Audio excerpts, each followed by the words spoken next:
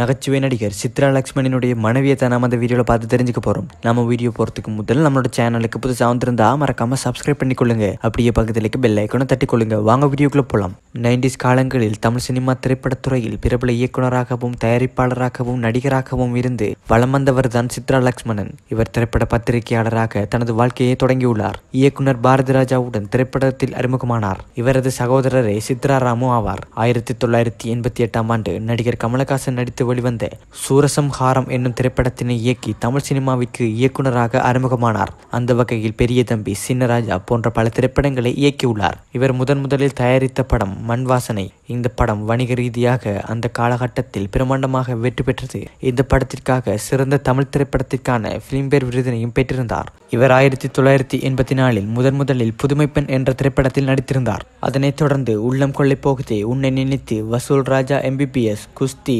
Vaitheeswaran pass என்கின்ற பாஸ்கரன் போன்ற ஏராளமான திரைப்படங்களில் நடித்துள்ளார். இந்த நிலையில் நடிகர் சித்ரா லக்ஷ்மணனின் மனைவி யார் என்று வெளியுலகத்துக்கு தெரியாமல் இருந்த நிலையில் தற்போது தனது சமூக வலைத்தளத்தில் தனது மனைவியுடன் புகைப்படத்தினை வெளியிட்டு இணையதளத்தை வைரலாக்கி வருகின்றார்.